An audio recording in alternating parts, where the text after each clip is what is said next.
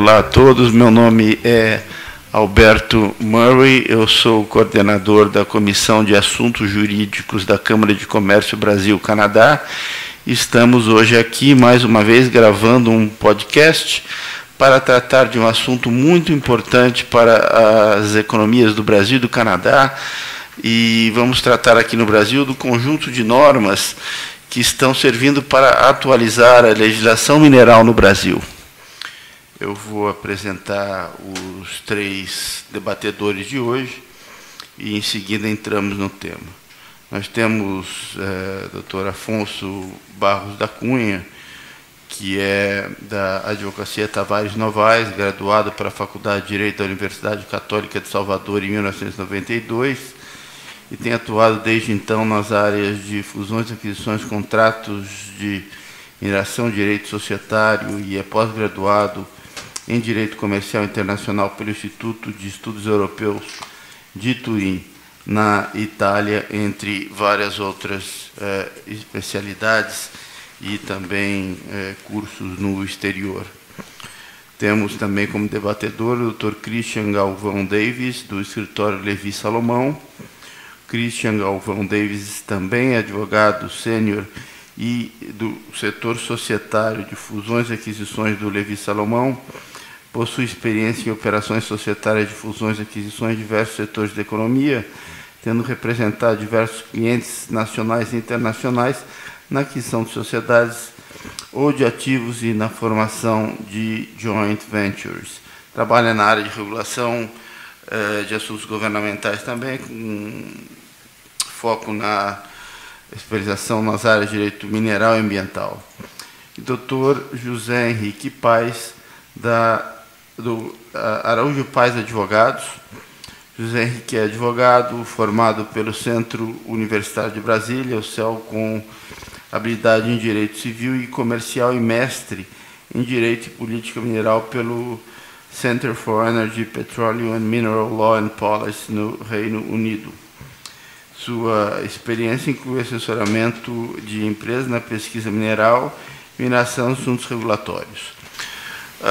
Nós vamos abordar os principais tópicos dessa questão, que é muito palpitante no Brasil. Gostaria de iniciar uh, perguntando aos nossos debatedores uh, sobre a criação da, do EN, o ANM, que é um órgão independente com novas fontes de receita. O que muda isso? No cenário da legislação mineral brasileira. Podemos começar com o Afonso? Bom, uh, bom dia a todos. É, é uma novidade que é muito bem-vinda, porque hoje em dia nós temos né, o DNPM como uma autarquia, no modelo mais clássico, e a ANM seria uma, uma agência, né, uma, uma autarquia em regime especial. especial. Então, com isso, o que se tem é que nós vamos ter um órgão mais independente, mais ágil, é, é, com recursos, inclusive é, orçamentários específicos para conseguir maior agilidade, imprimir maior agilidade ao mercado. essa era uma questão que já vinha sendo debatida, já se esperava a criação dessa, dessa agência. E uh, o que sempre se, se questionou foi como se fazer para conseguir efetivamente implementar esse caráter de agência é, reguladora.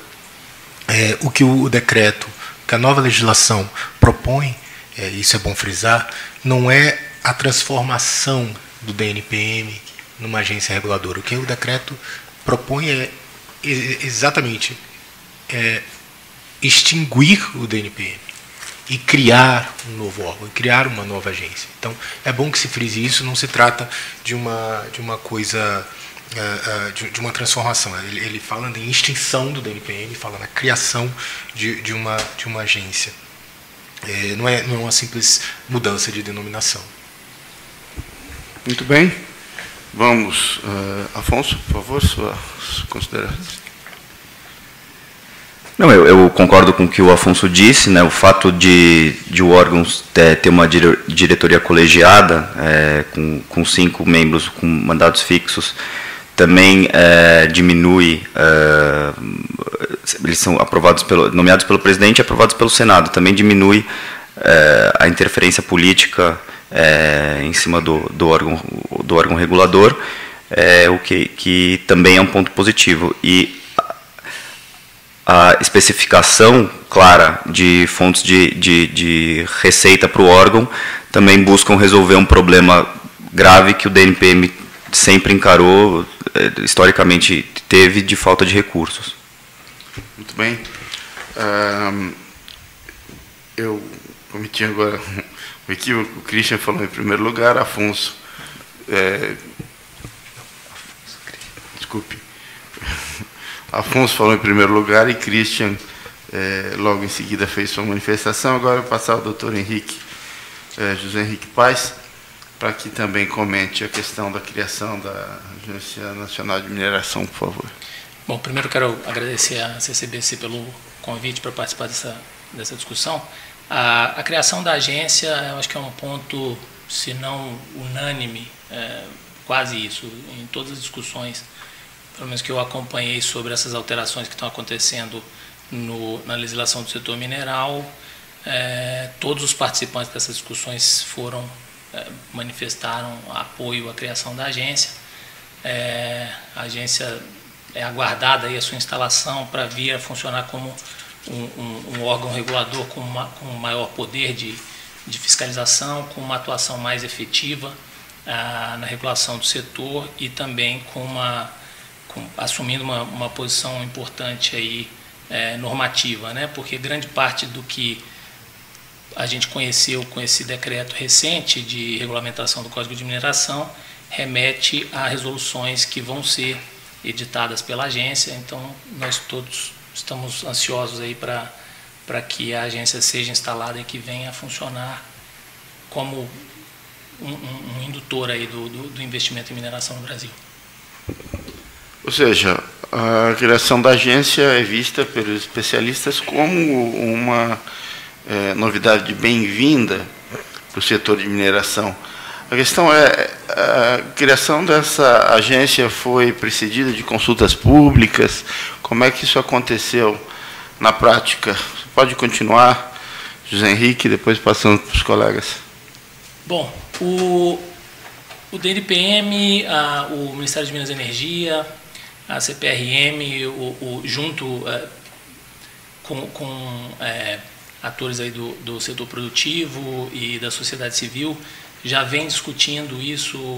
Na verdade, a, as propostas de reforma da, da legislação mineral já são mais antigas, mas mais recentemente é, isso se tornou mais, mais ativo e o DNPM já veio ensaiando uma das funções que se espera que a, que a agência vá assumir, que é a de fazer essas consultas públicas, enfim.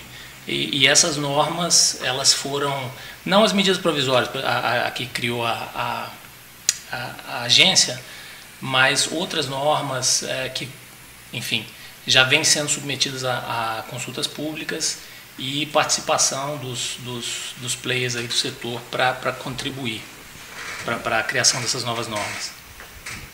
Christian? Olha, é, eu acho que é extremamente positivo essa, essa inovação de sujeitar, submeter é, regulação da ANM a, a consultas públicas. É, o decreto que, que regulamenta que, que o, o, o, Código de Minas estabelece mais ou menos é, perto de 40, 40 é, matérias que vão ser sujeitas à regulação da ANM. Eu, eu não, não, vou citar todas aqui, mas eu posso citar as mais, as mais importantes. É, as definições do, técnicas do que vem a ser um recurso mineral, reserva mineral, é, os requisitos é, a, serem, a serem cumpridos pelo relatório final de pesquisa mineral, bastante, uma questão bastante relevante. É, também como vão funcionar os, os, os, leilões eletrônicos, nós vamos tratar, tratar mais especificamente desse assunto aqui para frente, mas é, são, são itens absolutamente relevantes para o setor que vão ser é, sujeitos a, a, vão ser regulados por pela ANM. O fato de ela su, submeter isso a, a, consultas públicas prévias permite que o mercado participe também é, de como essa, essa, essa, essa regulação vai sair. Então isso é bastante positivo para o setor. É, é, os colegas já, já trataram do assunto aqui. Eu acho que é, caberia só realmente enfatizar o quão positivo isso é para o mercado, para o setor de mineração, porque isso sinaliza uma aproximação do órgão governamental ao, ao setor. Né? Isso o que nós esperamos é que venha efetivamente eh, se concretizar na forma de maior agilidade, na forma de é, normas e resoluções que realmente reflitam a realidade de quem vive o dia a dia do mercado é, do setor de mineração, ou seja, a gente diminui a chance de você ter normas que sejam alheias ao que efetivamente acontece, às vezes, ou normas que sejam propostas tendo em vista um ideal legislativo, um ideal uh, uh, normativo que na prática não se reflete no mercado. Então acho que a gente aumenta as chances de ter, de ter um, um corpo normativo mais alinhado com o mercado. Sobre a manutenção da facilidade, relativa facilidade de obtenção de autorizações para pesquisa mineral no Brasil, é, isso vai facilitar, vai melhorar? Como é que vai ficar o cenário daqui para frente? Christian? Bom, eu, eu vejo essa, essa. Eu acho que o mercado viu essa manutenção da relativa facilidade de obtenção de de um alvará de pesquisa mineral como é, uma, uma das, das, das, dos pontos mais positivos dessa regulação, dessa nova legislação. É, ele manteve as barreiras relativamente baixas que existiam no, no, no Código de Minas é, vigente, e havia um temor muito grande em projetos anteriores é, de que isso fosse ser modificado para um sistema que concentrava toda a pesquisa mineral na CP, praticamente toda pesquisa mineral na CPRM e a disponibilização das áreas a, a, a, a privados seria por meio de leilões com informações eh, sobre, sobre as áreas é, disponibilizadas não necessariamente confiáveis. Então, o fato disso ter sido deixado como estava, é, certamente é um, é, um, é um ponto que gera é, estabilidade e tranquilidade para o setor. Muito bem. Doutor José Henrique, suas é, considerações? Sim, essa, a, a, manutenção desses fundamentos aí e, e, princípios do que, nós, do que nós já tínhamos na regulação do setor mineral, manutenção disso foi, na minha visão, o, o ponto principal dessa nova regulamentação que veio com, com o decreto. A gente sabe que algumas propostas uh, chegaram a ser discutidas por meio de, projeto que foi enviado para o Congresso Nacional, mas é, hoje nós sabemos que está assegurado o direito de prioridade para acesso aos, aos, aos, títulos de direitos minerários e está garantido também a, a, continuidade da titularidade para quem faz a pesquisa, para poder negociar o seu título ou, ou é, se tornar o, o titular do direito de lavra. Essa, isso como eu falei, para mim é o, é o, ponto principal é estabelecer uma segurança de forma definitiva para quem atua no setor mineral. Muito bem. com relação aos leilões eletrônicos para as áreas desoneradas, é, isso constitui fonte de, de receita para a nova agência e ainda reduz as chances de áreas desoneradas serem obtidas para finalidades especulativas, isso também é um ponto positivo. Qual é a visão de vocês? É, podemos começar pelo doutor Afonso? Sim, é, não, é, novamente, né, é, é, muito positivo isso, porque a partir do momento que você é, precisa, você como empresa, é, você precisa se preparar para esses leilões, você fazer isso com um intuito meramente especulativo fica mais difícil. E aí, de fato, como uma das questões que, como a gente já disse aqui, uh, que preocupam uh, o mercado e o governo é como tornar a nova agência sustentável, claro, também é bem-vinda a notícia de que você tem uma fonte a mais. Mas é, eu, queria, eu queria salientar uma, uma, outra questão, é que não é só a, a questão financeira para a agência. Né? Hoje em dia, por exemplo, a gente já tem na, na consolidação normativa do DNPM, a gente já tem um artigo que fala em que não é as propostas escolhidas elas não são só com base na, na questão econômica, elas também são com base, são escolhidas com base em propostas técnicas. Então, o que eu gostaria de salientar é que a tendência é que nós tenhamos não só propostas mais interessantes economicamente, financeiramente, como também aquelas porque isso também vai ser analisado, aquelas que tenham melhor condições de aproveitar tecnicamente jazida, aquelas que tragam projetos de menor impacto ambiental. Então, acho que isso, no, no fim das contas, também, é, também vai ser olhado, não somente a questão financeira. Muito bem. Dr. Christian, suas. É, na, na, realidade, eu não teria muito que, uh, o que adicionar uh, ao que o, o Alfonso disse. É, isso certamente é, é, uma, é uma é outra medida bastante positiva.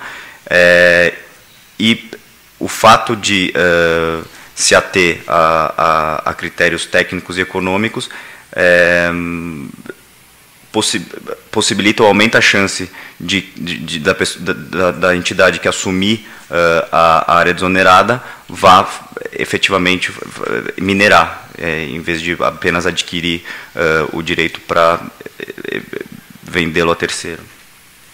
Também, doutor José Henrique. É, bom, eu acho que essa, essa, o que está sendo proposto, é, é, esses leilões para áreas desoneradas, é, uma forma bastante interessante e de, de enfim, de disponibilizar essas áreas para as empresas de mineração. E essa avaliação de potencial de atratividade é um, acrescenta mais aí a esse, esse modelo que está sendo proposto. Ah, o fato de retirar a discricionariedade, porque na prática o sistema que, que, que ainda está em vigor hoje, ah, da, do, dos, dos processos de disponibilidade, dá uma margem muito grande de discricionariedade para o DNPM.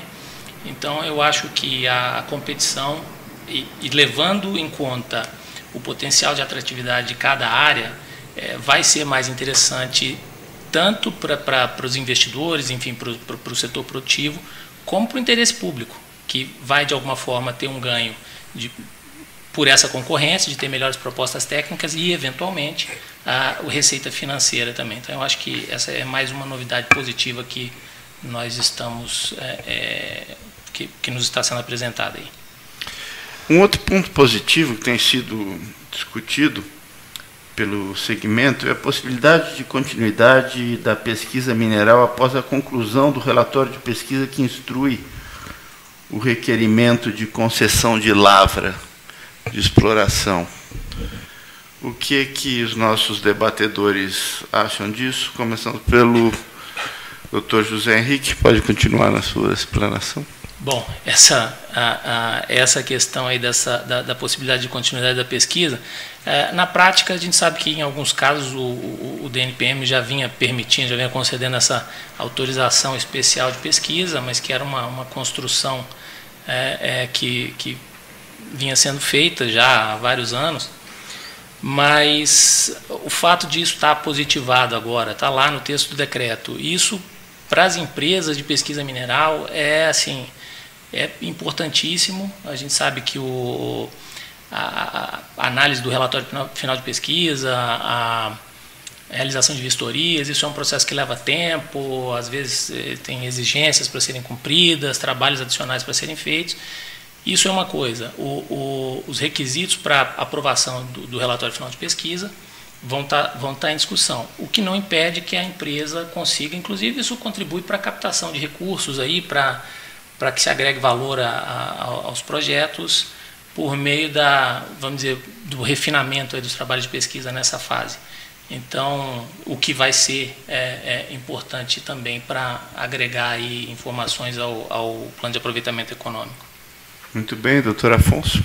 É, eu, eu, concordo com o José Henrique, é, porque justamente ao você permitir que após a entrega do relatório final de pesquisa você continue é, tentando melhorar os dados é, técnicos da, do projeto, isso de fato torna mais torna maior a, chance de você conseguir uh,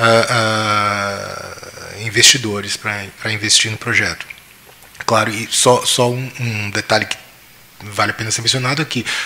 Você entrega, o, de acordo com o decreto, você entrega o, o relatório final de pesquisa, mas aqueles dados que você obtenha depois, caso você continue pesquisando, eles não vão para o relatório de final de pesquisa, eles vão, eles vão ser incorporados, vão ser utilizados no plano de aproveitamento econômico da jazida, mas enfim, mas o importante frisar é que é mais um instrumento, mais uma forma de você tornar o, o projeto mais viável, né, tornar é, mais fácil você obter investimento para essa atividade, porque a gente sabe que todo esse trabalho de, de pesquisa é um, é, um, é um trabalho que é, é, é, muito custoso e que muitas vezes é feito sobre uma taxa muito grande, muito alta de risco. Bem, doutor Christian Deis, as considerações. Realmente é uma, uma outro ponto positivo e na, na realidade quase óbvio que foi trazido nesse nesse, nesse novo marco, porque não, não havia motivo nenhum para não permitir que pesquisas continuassem né, após a, a, entrega do relatório de pesquisa. É, tinha sido proposto isso inicialmente na medida provisória 790, que, que, que caiu, e eu, eu imaginava, eu estava vendo isso como, como um ponto negativo, felizmente foi trazido de volta no, no, no decreto, e certa, certamente isso é, como, como os colegas já disseram, é, agrega ao conhecimento do minerador da, da, do, do, ativo dele e, e, aumenta o valor do ativo, para fins de, de, de, de, inclusive, de, eventual oneração do, do, do, direito minerário posteriormente, ou de, ou de aumenta a atratividade dele para investidores, caso, caso haja necessidade de captação de recursos. Então, é, não há nenhum ponto negativo nessa, nessa, nessa alteração, só apenas positivos. Muito bem, um outro ponto também que merece ser abordado é a inclusão dos conceitos técnicos eh, internacionalmente utilizados na medição de recursos e de reservas minerais. Suas opiniões sobre isso? Vamos começar, doutor Afonso? É, esse, esse ponto era tradicionalmente uma, uma questão difícil a ser enfrentada pelos projetos de mineração no país, quando se tratava de tentar atrair investidores estrangeiros. Porque a, a forma como essa pesquisa é feita nos principais mercados de mineração, e aí vamos dizer principalmente Canadá, Austrália, né, eram, eram, eram, eram métodos, eram te, é, técnicas que conseguiam dar muito mais segurança a, a, aos investidores sobre o que efetivamente se encontrava sob o solo. Porque você tem um inferimento, né? você tem uma, uma, uma, você consegue ter uma noção de que há uma jazida, mas você não consegue é, de imediato saber exatamente o, o que tem embaixo do solo, está escondido. Então você precisa, por isso você precisa do prazo da pesquisa mineral. Uh, e o que acontece é que muitas vezes, quando um minerador, uma, uma empresa uh, uh, mineradora brasileira, se apresentava a investidores estrangeiros na tentativa de obter o investimento, os investidores olhavam e falavam assim: olha, mas isso aqui que você está me apresentando é, é, diferente do que a gente costuma fazer aqui. Então, na verdade, a gente está comparando maçã com laranja. Então, o que você está me me apresentando não é o suficiente para eu ter segurança é, de que uh, uh, eu posso investir naquilo que já é per se, já é pela sua própria natureza, uma atividade de risco. Então, é, é, de novo, é, é muito bem-vindo. A, a tendência é que isso venha a facilitar é, é, é, o aumento de, desses investimentos. A, a, fase de pesquisa ela é, é uma fase que traz muita, muitos custos, é, é, muitas despesas. provavelmente a, as empresas que começarem a utilizar na fase de pesquisa essa, esses conceitos técnicos internacionais pode ser que seja uma forma mais cara, né? uma, são técnicas que exigem mais recursos, mas eh, e aí a depender de como a, a, a agência venha a normatizar a atração desses, desses recursos, desses investimentos, pode ser inclusive que o próprio custo decorrente da adoção dessas novas técnicas possa ser embutido dentro uh, do financiamento, de forma que a gente consiga, consiga viabilizar um, uma pesquisa de, uh, uh, feita por empresas que às vezes não têm o recurso para fazer frente a isso. Professor Henrique.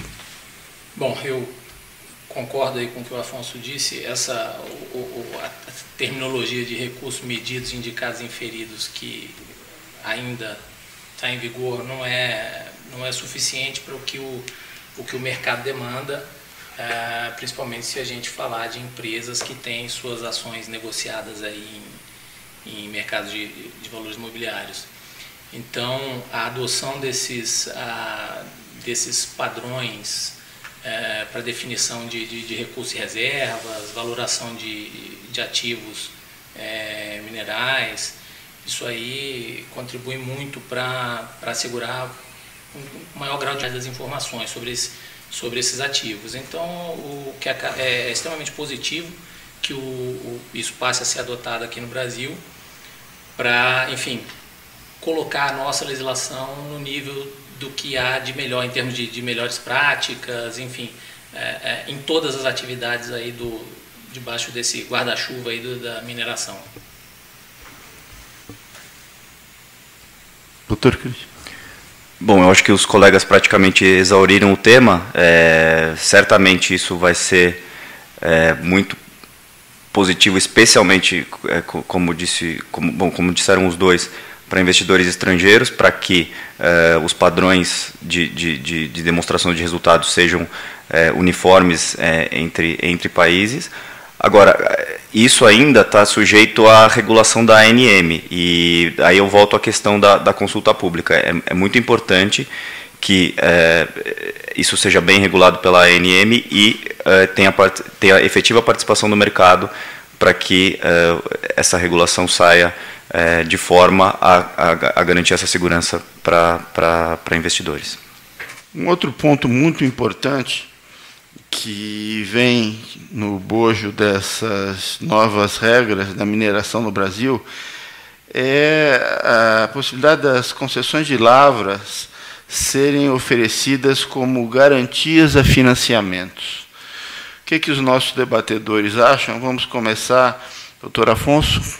Bom, é, de fato, essa, essa menção expressa a possibilidade de se oferecer título minerário, concessão de lavra como financiamento, é, é uma boa notícia porque esse tradicionalmente era um gargalo para a obtenção de investimentos uh, no setor minerário, principalmente por parte de pequenas e médias empresas que não tinham o, os recursos necessários para começar a desenvolver a atividade. Uh, o problema é que o Código uh, Minerário, no artigo 55, ele determinava que a concessão de lavra só poderia ser transmissível a quem fosse capaz de exercê-la. Então, se você fosse pensar que um minerador tentasse oferecer a concessão de lavra a um banco em troca de um empréstimo, por exemplo, o banco não via muito interesse nisso, porque se ele tivesse que executar essa garantia, ele ia fazer o que com com a concessão de lavra, já que o código diz que só pode deter o título quem efetivamente vai, vai fazer a lavra. Né? E, fora isso, que ah, no decorrer da atividade a, a, é, da mineração existem vários momentos ou várias, várias questões que podem suscitar penalidades por parte do, do governo e que podem, em última instância, levar à caducidade do título. Ou seja, isso tornava o título minerário um, um título extremamente vulnerável, né, que, que perdia o atrativo para a obtenção de, de financiamento, né, de financiamentos naquele, naqueles moldes mais clássicos, né, de penhora, como, como, como se previa. Então, uh, hoje em dia, com, com, essa, com essa menção expressa, é, que vai ter que ser regulamentada por resolução específica por parte da, da agência, a gente começa a ver um novo horizonte aí para a modernização desse, do setor e a captação de maiores investimentos. Obrigado, doutor. Christian Davis, por favor, seus comentários. É, eu acho que um ponto interessante sobre a questão de, de, de oneração é, é, positivo, claro, que o, que o decreto traga expressamente a, a possibilidade da, da, de oferecimento da concessão de labra como garantias para financiamento, Agora, um, um outro ponto que é, tem, tem a ver mais com interpretação do direito do que que pode ser bastante interessante é o, artigo seguinte do decreto que fala que é, é, remete à, resolução da ANM hipótese de oneração de direitos minerários. Ele não especifica, é, é, ele não, não fala em concessão de lavra. é, de forma que vai ser interessante é, ver, ver, o que, que vai ser proposto e as consultas públicas que vão, a consulta pública que vai anteceder essa resolução, mas é possível que a intenção aqui seja abrir o rol de direitos minerários que podem ser é, onerados. Doutor José Henrique, passa. Bom, primeiro eu quero concordar aqui com o que o, o Afonso disse. É, inúmeras vezes a gente já, já fez essa pergunta de o que, que o agente financeiro vai fazer com uma, uma portaria de lavra. É, certamente dentro dos bancos também eles, eles devem ter uma, uma resposta melhor para isso. Mas a, a e, e, complementando o que o, o Christian disse, nós estamos curiosos aí também para para ver o que, que, o que, que virá da agência ah, nessa questão de oneração de direitos minerários, que é mais amplo do que é, penhora de, de, de, concessão de lavra. E esperamos aí que nessas averbações aí de, de onerações de direitos minerários, o, o, a agência vá considerar alguns instrumentos que a gente tem usado corriqueiramente aí, contratos de streaming, algumas formas de de opções aí para transferência de direitos minerários e, e, se isso vier a bem do, do, do, do investimento no setor, será muito bem-vindo. Ótimo. E temos a questão do CEFEM, aumento de base de cálculo e, em alguns casos, da própria alíquota. Qual é a posição dos nossos debatedores? Vamos começar, doutor José Henrique. Bom, é, o ideal seria que essas modificações tivessem vindo num contexto de uma discussão mais, é, mais ampla aí da, da tributação que, que incide no, nas atividades de, de, de pesquisa mineral e, e, e, lavra como um todo. É, mas nós sabemos que falar em reforma tributária não é, não é simples, é, isso foi objeto de debate é, quando as, as medidas provisórias passaram pelo, pelo Congresso. Ah, e, evidentemente, quando a gente fala de aumento de, de base de cálculo e de alíquota, ninguém fica satisfeito. Mas, na prática, o que eu tenho visto é que a, isso é, uma, é uma, uma, análise que tem que ser feita caso a caso. Eu, eu ouvi ah, de, de, pessoas de empresas de mineração ah, que esse aumento, esses aumentos aí teria um impacto significativo em determinados projetos, aqueles projetos marginais ali, muitos devem ter, ou alguns podem ter voltado para a gaveta, mas em outros foi uma questão de, de adequação, claro, representa um impacto, mas não chega a ser significativo. É, vamos ver se mais para o futuro, se, se, se vier também uma, uma discussão mais ampla sobre a tributação do setor, também vai ser bem-vinda. Bom, é, complementando o que o José Henrique falou, assim, só para a gente ter uma ideia da, da importância, da, da, ordem de grandeza do que a gente está falando. É, segundo o Ministério de Minas e Energias, o setor pagou em 2017 1,8 bilhões de reais em CEFEM. O setor de mineração representa 4% do PIB brasileiro. Então, assim, isso dá uma ajuda a dar uma noção do, do, da importância da discussão da CEFEM.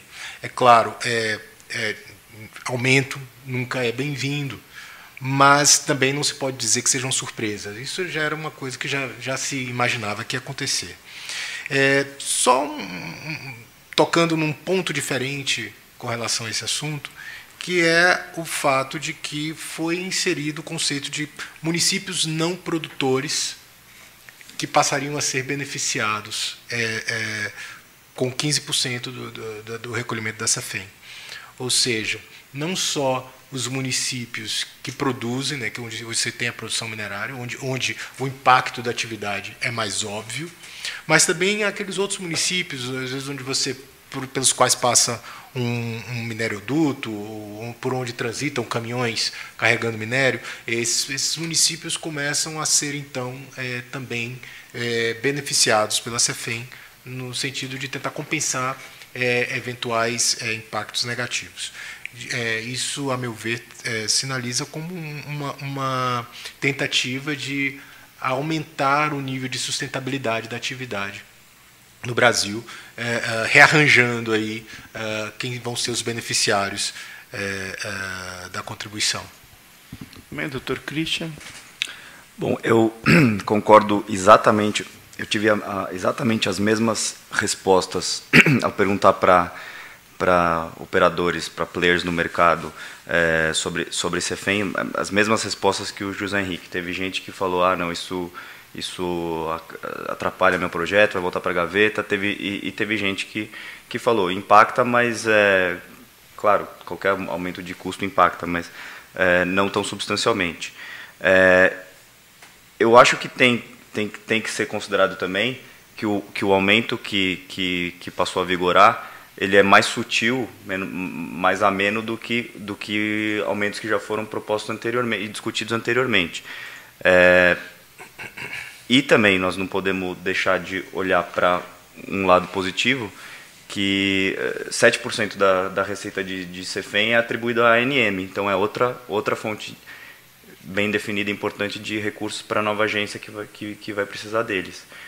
Então, uh, apesar de, de ser um aumento de custo, ela não deixa de ter seus aspectos positivos e ela também não foi tão uh, aguda quanto poderia ter se esperado em, em, em discussões anteriores. Muito bem. É, finalmente, importante saber quando será efetivamente instalada a nova agência e que efetividade ela terá, se estará o órgão suficientemente aparelhado para cumprir suas atribuições de sua instalação, qual é o prazo para isso estar plenamente funcionando?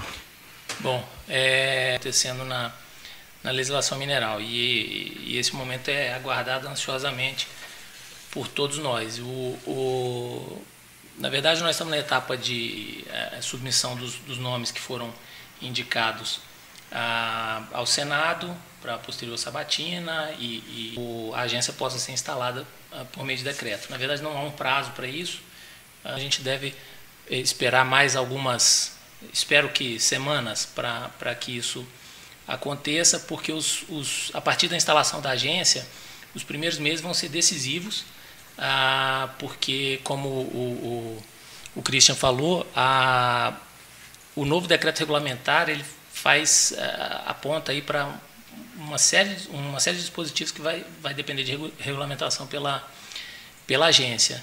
Então, e dentro desse espírito aí de participação da, da sociedade, das empresas, da, da sociedade civil, para contribuir para isso, e eu tenho certeza que isso vai acontecer da, da, da instalação da agência e nós vamos acompanhar isso aí para dar nossas contribuições também. Bem, doutor Christian. É muito importante que, que, que essas, os cinco cargos de diretoria sejam pessoas altamente técnicas. Uh, a expectativa é que isso ocorra. E, além uh, da questão da, da diretoria, do decreto de instalação, também uma questão de, de, de pessoal uh, que, tem que, que, que, deve ser abordada. tem que ser chamado um, um, um concurso público, porque a ANM vai ter uma série de atribuições a mais do que o DNPM. E o pessoal, o, o, DNP, quando, quando foi extinto o DNPM, ele já tinha uh, mais ou menos um terço da sua, da sua, do, do, do seu pessoal já, já com direito à aposentadoria. É, com um terço de, de pessoal a menos é, e o número de atribuições que tem, vai ser, como, como, uh, como, como disse o José Henrique, os primeiros meses de atuação do órgão vão ser, vão ser cruciais. É muito importante que ele esteja bem aparelhado para uh, exercer as suas funções e, e a gente tem, também tem que acompanhar se, se, se, se isso vai acontecer nos próximos semanas ou meses. Doutor Afonso. É, concordando é, com, com o que os colegas disseram, só enfatizando que, bom, esse período que, que a gente espera que vá levar para a implementação da, da agência, por todas as questões que eles, que eles mencionaram aqui, a gente pode também, talvez seja otimismo, seja um esforço para se seguir é, é, é, um nível maior de flexibilidade, de alinhamento com o mercado. É, a meu ver, a gente vê muito, muito dessa, dessa vontade de, de, de, de trazer para o, o processo agilidade maior, uma flexibilidade, enfim. E, e quando a gente fala dessa questão do aparelhamento da agência, do, do, do, pessoal, né, que, que é necessário, a gente tem, entra em discussões né, que sempre, é, sempre se discutiu como é, melhorar a, a, ou tornar mais eficaz a fiscalização por parte do DNPM, por exemplo.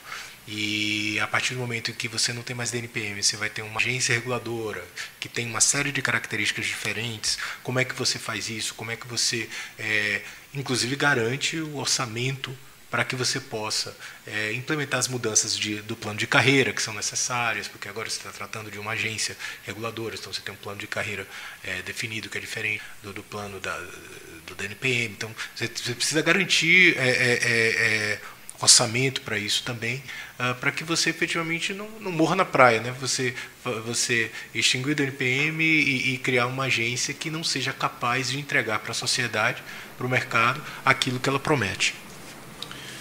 Muito bem, nós fizemos aqui um apanhado geral sobre a nova legislação da mineração no Brasil, que é um segmento econômico muito importante e também no Canadá contamos com três especialistas, Dr. Afonso Barros da Cunha, Dr. Christian Davis e Dr. Eh, José Henrique Paes. Uh, a questão está apenas começando, já fica aqui o convite da Comissão de Assuntos Jurídicos da Câmara para que nós voltemos ao tema com vocês na medida em que o assunto caminhar e a agência estiver em, em pleno funcionamento para analisarmos se efetivamente na prática os resultados obtidos estão sendo aqueles que o mercado efetivamente espera. Agradeço a presença de vocês todos e convido aos ouvintes que fiquem ligados nos podcasts da Comissão de Assuntos Jurídicos. Muito obrigado.